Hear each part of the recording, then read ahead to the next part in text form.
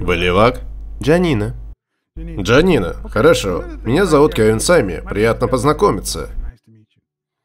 Одна из вещей, которые я постоянно слышу, это понятие справедливости. Справедливости и справедливости. Почему это так важно для вас? Неприятно это признавать, но это так. Я наполовину мужчина, я просто красивая девушка. И я не думаю, что я должна соглашаться на меньшее в жизни, потому что я родилась с другим оборудованием. Я считаю, что это чушь. Если вы наполовину мужчина, вы должны понимать всю эту концепцию. Мужчины не заботятся о справедливости. Я тоже не должен заботиться о справедливости. Нет, мужчины не заботятся о справедливости, иначе они бы не завоевывали других людей. Пошла тишина. Вы европейского происхождения? Похоже, что вы родом с Кавказских гор. Вы европейского происхождения, я прав? Да, я очень белая. И это прекрасно. И некоторые из них я имею в виду между многими воинственными племенами, Германией, франками. Если бы мы заботились о справедливости, мы бы просто позволили всем оставаться на своей земле. Викинги не занимались бы грабежами и разбоем. Англия осталась бы на своем острове, Шотландия была бы в порядке, Ирландия была бы в порядке. Гонконг не был бы британским протекторатом в течение скольких лет? Последних 30 или 40? Мужчины не заботятся о справедливости. Мы завоевываем. Есть победители и проигравшие. Верно? Ты же наполовину мужчина. Я не знала, что только мужчины участвуют в завоеваниях. Назовите мне имена великих женщин-воинов, которые доминировали на планете. Я имею в виду, что здесь я получаю новое образование, которое заключается в том, что только мужчины завоевывают. Нет. Вы же меня про это спрашивали. Нет, дорогая, я не собираюсь переключаться на другую тему. Я спрашиваю вас о справедливости. Почему справедливость так важна? Вы сказали это, потому что вы наполовину мужчина. Потому что если вы ожидаете чего-то от меня, я должна иметь право ожидать того же от вас. А если вы не можете мне этого предложить, значит вы не заслуживаете меня. Это не имеет ничего общего со справедливостью. Разве все имеет отношение к справедливости? Справедливость не означает, что вы получите результат. Хм, боже. Вы пройдете собеседование, но вам не гарантирована работа. Нет, не гарантированно, но я очень много работаю, чтобы сохранить ее. Ну, это зависит от случая. Но если это так, если это так, то вы должны быть в состоянии обеспечить то, что вы хотите. Так что у вас не должно быть проблем. Очевидно, что нет. Не тогда, когда мужчина верит в то, что не нужно быть справедливыми. Эти две вещи могут существовать в одном и том же месте. Мы даже не были частью человеческой истории, это были только мужчины. Нет, нет, нет, нет. Вы только что сказали, что вы очень много работаете, поэтому вы должны получать результаты. Упорный труд не гарантирует вам первое место. Ребята, кто проиграл Суперкубок? Вожди Канзас-Сити. Можете ли вы сказать, что они усердно работали в этом году? Очень усердно. Второй номер. Мы не беспокоимся о справедливости, мы беспокоимся о победе. И победителю достанутся все трофеи. Сколько раз ты попадала в клуб VIP бесплатно, когда некоторым уродливым цыпочкам приходилось платить полную цену? Это моя вина? Нет, я спрашиваю, сколько раз это у вас происходило? В Майами у меня было много раз. Именно, но это нечестно, не так ли? Пожалуйста, не забывайте, что я не отсюда. Дело не в этом, мэм, это несправедливо, не так ли? Меня также не волнуют такие вещи. Но вы заботитесь о справедливости только тогда, когда это невыгодно вам. Я просто не так часто хожу в клубы. Но дело не в этом. Я спрашиваю вас, сколько раз вы ходили в клуб, куда вы попадали бесплатно, но некрасивые девочки должны были платить? И вы знаете, что такое случалось. Вы не сказали, извините, сэр, несмотря на то, что я привлекательна, я требую, чтобы вы брали с меня полную цену. Это справедливо, верно? Хорошо, значит, раз я попадаю в места... Это справедливо, по-вашему? Нет, минутку. Прежде чем мы продолжим, я отвечу на ваш вопрос, если вы ответите на мой. Жизнь несправедливая штука. Но если это так, то вы тоже приняли сексуальный рынок. Но это не значит, что я должна принимать всякую хрень от других.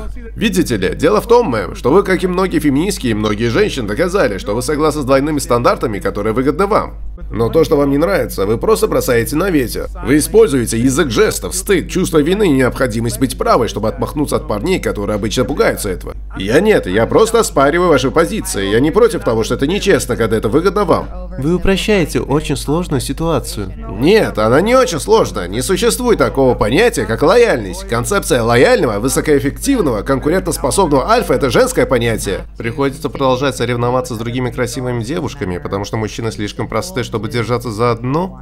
Ну а как насчет этого? Тот тип мужчин, о котором вы говорите, достаточно прост, чтобы создать свет, при котором вы живете. Кондиционер, все те вещи, на которых вы держитесь. Простые люди построили мир, которым вы пользуетесь. Я построила свой собственный мир. Нет, мэм, вы пользуетесь миром, который построили мы.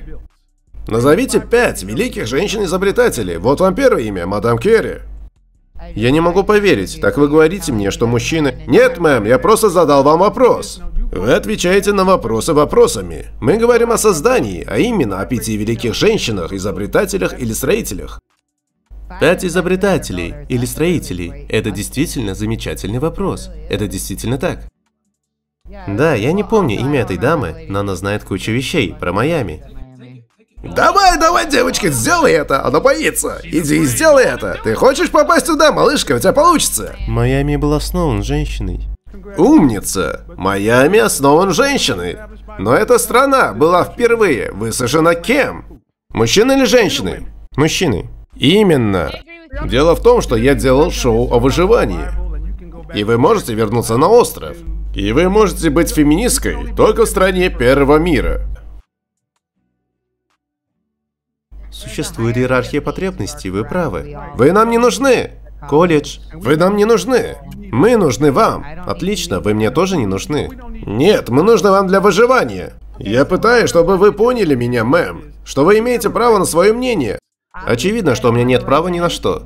Вы имеете право верить в то, во что хотите, но дело в том, что вы не имеете права на результат. Вам позволено иметь свое мнение, так же, как и мужчина позволено иметь свое. И вы не обязаны соревноваться или иметь дело с ситуацией, которую вы считаете несправедливой, но вы не можете жаловаться на правила, которые уже установлены. Вам нравятся правила, по которым вы можете попасть в клуб бесплатно, но вам не нравятся правила, которые выгодны мужчинам.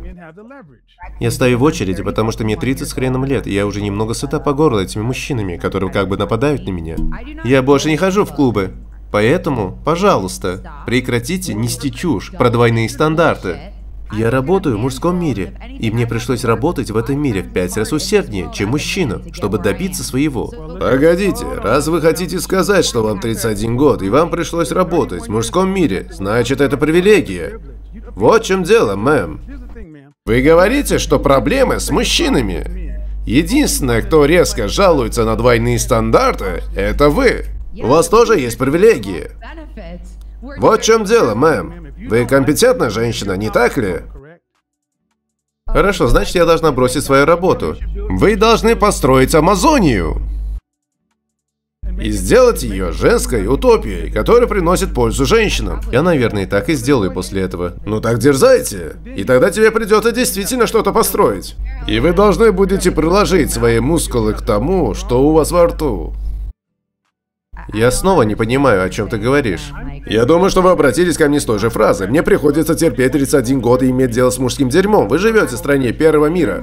Вы в Майами, одном из самых шикарных мест на планете. Жалуетесь на двойные стандарты, в которых участвуете. Я поправлю тебя, я не хожу в клубы. Я просто привожу пример. Вы ходили в клубы. Я не говорю, что вы продолжаете туда ходить. Дело не в этом, не так ли? Это еще один способ, которым вы пытаетесь поправить меня, потому что я тупица. Я понял суть. Нет, я имею в виду, что вы очень грубый и агрессивный. Нет, я очень прямолинейный. Когда это вы делали с мужчинами, вы без проблем показывали свой член. Я просто признаю твои яйца. А почему? Я отвечаю тебе тем же, я отражаю твое отношение к людям. Дело в том, что для тебя нормально говорить это людям. Ладно, я просто спариваю то, что ты думаешь. Это было мое мнение, когда я пришла сюда. И я так то представил эти мнения. Я слушал, как вы два вечера подряд говорили эти вещи. Сейчас я с вами говорю один на один, и вы не сдаетесь. Я просто спариваю то, что вы говорите. Пусть кучка слабых мужчин говорит мне, что я не привлекательна, что я не такая и не такая, потому что я не собираюсь отступать или слушать кого-то. Хорошо, вы говорите, что мужчина в комнате с вами это кучка слабаков? Если ты думаешь, что я должна была принимать уроки... Нет, мэм, я не думаю, что вы должны делать то, чего не хотите. Вы свободный человек. Но вы говорите, что мужчина в комнате с вами кучка слабаков. Кто эти кучка слабаков? Про кого вы говорили? Я только что сказала. Я не расслышал, потому что вы говорили со мной вместе. Могли бы вы повторить? Кучка слабых мужчин делает что? Да. Когда кто-то сидит здесь и говорит мне, что я должна принять несправедливую ситуацию, что если бы мы применили это к чему-то еще в жизни, кроме мужчин и женщин, то все в этой комнате не приняли бы это. Но я скажу вам, что это чушь, и это несправедливо. Хорошо, я понял. Могу ли я вам ответить? В нашей культуре и обществе сегодня миллион проблем, в которых люди борются за справедливость. Но все же, я сижу здесь и говорю, «Эй, мне тоже позволено ожидать этого, и на меня будут нападать». Хорошо, я понял. Могу ли я ответить вам? Позвольте мне сказать вам кое-что. Во-первых, мужчины не волнуются о справедливости. Сексуальный рынок не является справедливым. Все справедливо в любви и на войне. Это нечестно. Есть парни, которым вы не дадите шанса, которые будут очень стараться, но они будут не вашего поля зрения. Мэм, я позволил вам говорить. Вы этого не знаете. Нет, я знаю, что вы не даете шанс каждому человеку. Вот что я знаю. Вы этого не можете знать. Ладно, вы хотите сказать, что вы единственная женщина на планете, которая даст шанс каждому мужчине, который захочет вас? Нет, не дам. Хорошо, тогда я могу предположить, что я был прав. Продолжим. Давайте не будем теряться в этом. Вы говорите о несправедливости. Где в мире есть справедливость? Такой, как она должна быть. Справедливо ли для вас это в Америке? Нет, мэм, я спрашиваю вас, где в мире это справедливо? Я не жалуюсь. Я справляюсь с несправедливостью и преодолеваю ее, потому что я мужчина и могу с ней справиться. И я спрашиваю вас, где это идеальное место, где существует идеальная модель? Его нет. Именно. Три женщины здесь сидят и никогда больше не хотят идти на свидание. Ну, как насчет того, чтобы не хотеть идти на свидание? Что произошло в этом мире? Как ничто другое, так это то, что человечество научилось ладить друг с другом с момента записи истории. Но примерно 60-е годы, когда Национальная организация женщин была на нашей стороне, когда появились эти вещи, феминизм, феминизм второй волны. Кстати, я феминист. Я верю в феминизм. Феминизм – это выбор. Феминизм в его истинной форме – это выбор. Да, но у нас не было выбора. У тебя нет выбора? Посмотри, вот это пример. Стало слишком жарко, и она ушла. Чувак, она разозлилась. Понимаешь, о чем я? Дело в выборе. Если женщина хочет быть домохозяйкой, она может ею быть. Если она хочет быть бизнесменом, то пожалуйста.